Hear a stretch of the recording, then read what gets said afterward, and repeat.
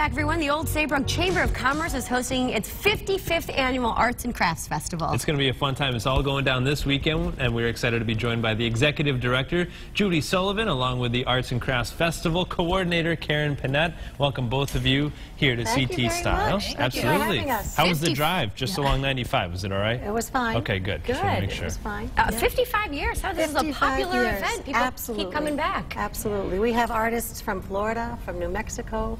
We have artists that have been with us for 25 years. Crazy. Who Yeah. wouldn't want to come to the Connecticut shoreline, right? It is a beautiful town. Yeah, and, and you live in Old, Old Saybrook. Saybrook.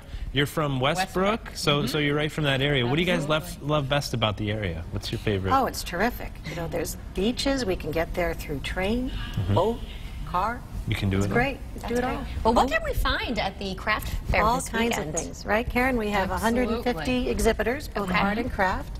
Uh, art, acrylics, oils, watercolor, and then we brought a little sampling of some few things. Well, let's see. Run us through what Yeah. you brought. This is a graphic artist from locally, and Bill Dougal did this for us, and it's actually our building.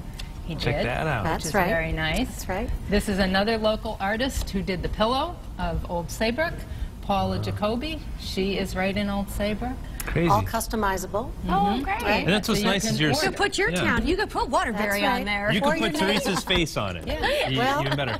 Maybe. I guess, right, right. But I, I think one of the cool things is that you are supporting these local artisans, and, and that really That's goes right. a, a long way because That's right. this is what they do for a living. This is their livelihood. Yeah. Absolutely. So many of them do the circuit, so they do a lot of these shows in the mm-hmm. summer and they come back.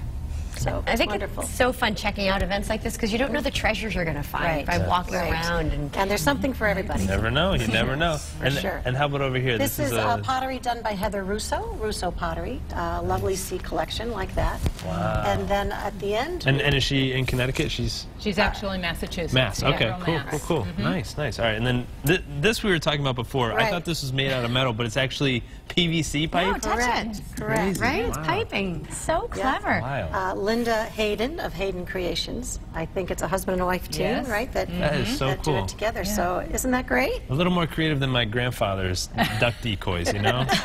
I mean, his are nice too, but right. but this is really neat. Do you have any items that you look forward to seeing every year?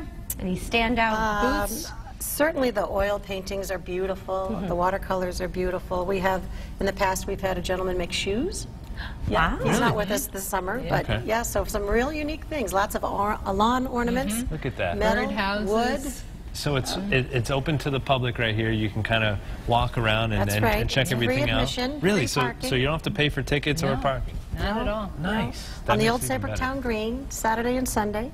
Very cool. And we were just talking to Sam Kantrow, who, who's uh, very quiet right behind us. Thank you, Sam. he, he said that Sunday, weather's going to be beautiful, so that's probably the best day to go, but also Saturday's going to be very Right. nice as well. That's right. It's going to cooperate with you, ladies. Thank you so much for being Thank here and giving us a having us. preview here on Thank you. CT Thank Style. you. Come back again, you know? We will. Next time we should all make a, a craft, maybe. Right. Maybe Oh, some that- PVC birds. Oh, I like that idea.